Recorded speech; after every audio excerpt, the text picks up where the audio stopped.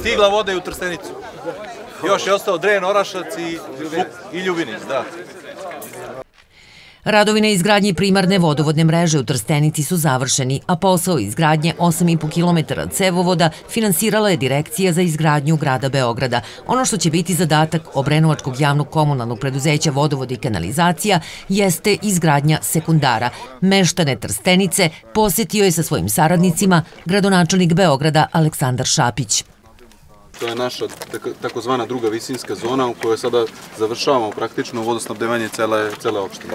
Stenica je ovaj, poslednje naseljeno mesto na ovom kraku koje završavamo. Stvarno mi je drago što smo ovim povodom tu.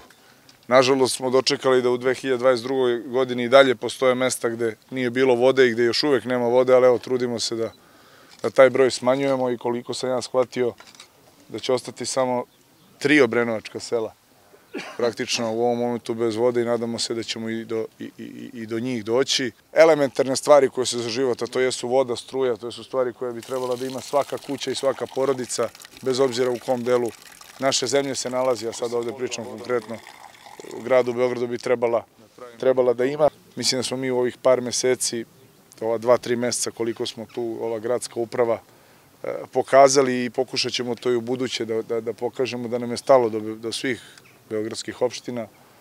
Odredili smo i značajna sredstva i bit će veći budžet sledeće godine i učestvovat ćemo dodatno u nekim, nekim projektima, zato što stvarno mislim da moramo da tretiramo sve naše građane jednako. Cilj gradske opštine Obrenovac je da u narednom periodu kompletna teritorija opštine bude pokrivena vodovodnom mrežom.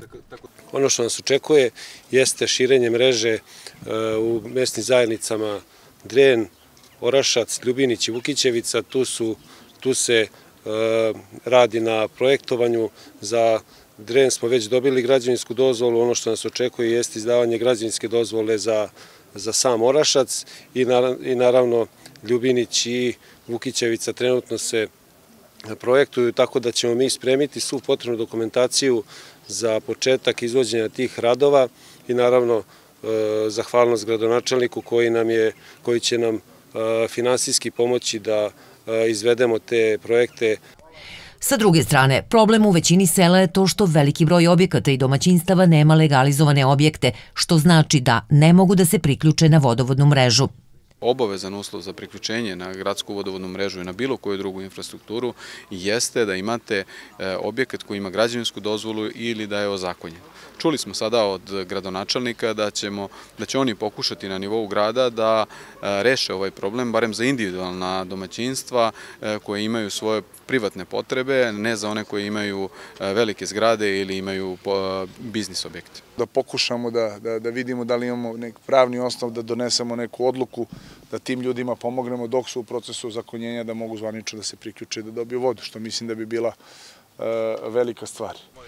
Prema rečima predsednika opštine Miloša Stanojevića, posle vodovodne, na red dolazi izgradnja kompletne kanalizacione mreže, izgradnja vrtića i drugih objekata koji će poboljšati kvalitet života stanovnika Obrenovca, kako u gradu, tako i na selu.